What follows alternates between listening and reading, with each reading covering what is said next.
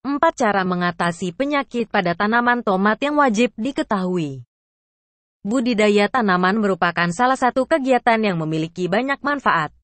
Terbukti, selain memperoleh keuntungan ekonomis dengan menanam tanaman kita juga bisa memperoleh manfaat kesehatan serta mampu melatih keseimbangan emosional kita.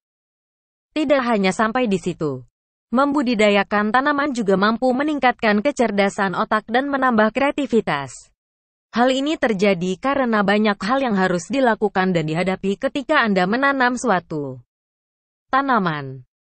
Di antara sekian banyak jenis tanaman Anda pasti mengenal tanaman tomat. Buah tomat sering kali kita jumpai pada masakan karena ia memang bisa dipakai untuk berbagai keperluan memasak. Cara mengatasi korisa pada unggas. Bukan hal yang baru jika tanaman tomat dibudidayakan. Tidak hanya di ladang atau pedesaan. Kini bahan kita bisa menjumpai masyarakat kota yang menanam tom di pekarangan rumahnya. Kali ini kami bukan hendak mengajarkan cara menanam tomat.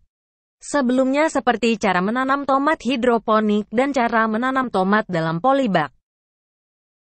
Anda tentu tahu bahwa salah satu kendala dalam budidaya tanaman tomat adalah serangan hama dan penyakit tanaman tomat. Sekarang kami akan mengulas cara mengatasi penyakit pada tanaman tomat. Beberapa penyakit tanaman tomat yang paling sering adalah busuk daun, busuk buah, bulai dan layu fusarium. Meski demikian sebenarnya masih banyak lagi penyakit yang lain hanya saja kasusnya tidak begitu hebat. Mari kita kenali dan kita bahas satu persatu penyakit tanaman tomat dan bagaimana cara mengatasi penyakit tanaman tomat tersebut. Cara mengatasi cacar buah melon 1. Cara mengatasi penyakit busuk daun pada tanaman tomat Pada budidaya tanaman tomat, busuk daun merupakan salah satu penyakit yang sangat ditakuti oleh kalangan petani karena mampu menurunkan produksi tanaman tomat secara drastis. Penyakit busuk daun pada tanaman tomat biasanya disebabkan oleh cendawan patogen. Namun ternyata ada juga busuk daun tanaman tomat yang disebabkan oleh infeksi bakteri Santominas. Vesicatoria hanya saja kasus ini lebih jarang terjadi. Penyebab utama busuk daun tanaman tomat dan yang paling sering adalah karena infeksi cendawan. Phytophthora infestans. Cendawan ini akan menimbulkan bercak kecoklatan pada area daun lalu sekitarnya menjadi kuning dan akhirnya sebagian besar atau bahkan seluruh daun menjadi busuk. Jika tak segera ditangani penyakit busuk daun dapat mematikan tanaman tomat. Cara mengatasi busuk daun pada tanaman tomat ialah dengan menggunakan fungisida kontak berbahan aktif mancozeb yang disemprotkan 2-4 hari berturut-turut lalu disambung fungisida sistemik berbahan aktif metalaksil untuk pengobatan dari dalam.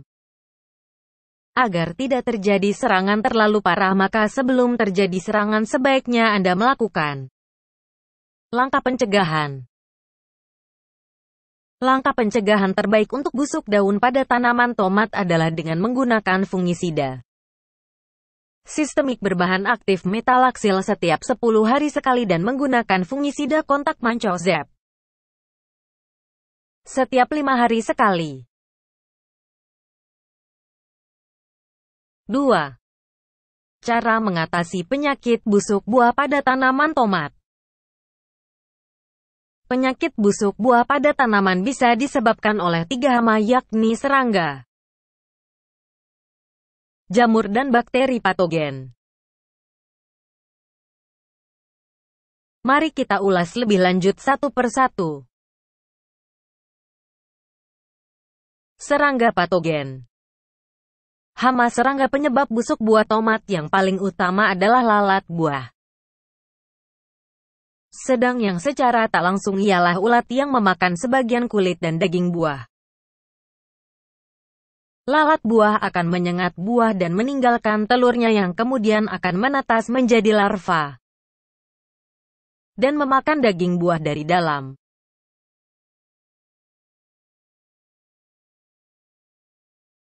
Untuk mengatasi penyakit tanaman tomat karena serangga ini tentu kita harus menggunakan insektisida. Sistemik maupun kontak.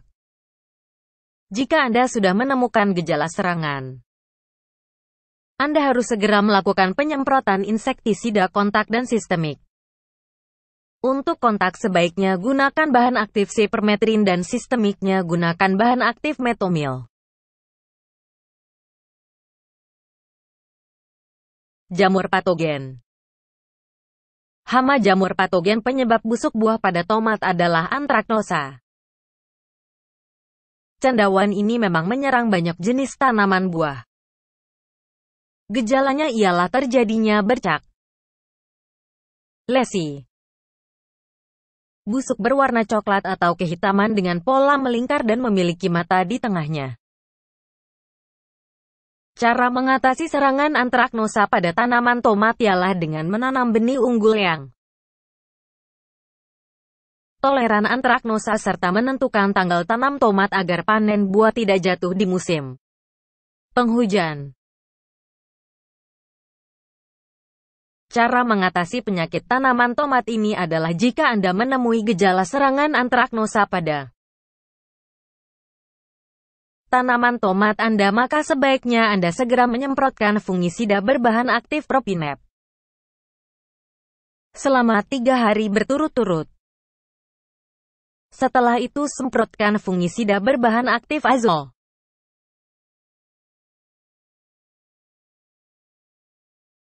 Bakteri patogen Banyak sekali jenis bakteri yang menyebabkan busuk buah. Namun pada buah tomat karena posisi buah menggantung maka serangan bakteri tidak akan begitu hebat. Hanya saja bakteri seperti Xanthominas vesicatoria yang tadinya hanya menginfeksi daun dan batang. Apabila ada bagian kulit buah yang terluka maka ini bisa menjadi jalan masuk utama bagi bakteri untuk menginfeksi buah tersebut dan membusukkannya. Hal ini biasanya merupakan tindak lanjut dari serangan ulat. Untuk mengatasi penyakit tanaman tomat ini Anda bisa menggunakan bakterisida berbahan aktif. Streptomycin atau tembaga hidroksida. 3. Layu fusarium. Untuk penyakit layu fusarium merupakan penyakit yang paling susah diatasi jika sudah terjadi.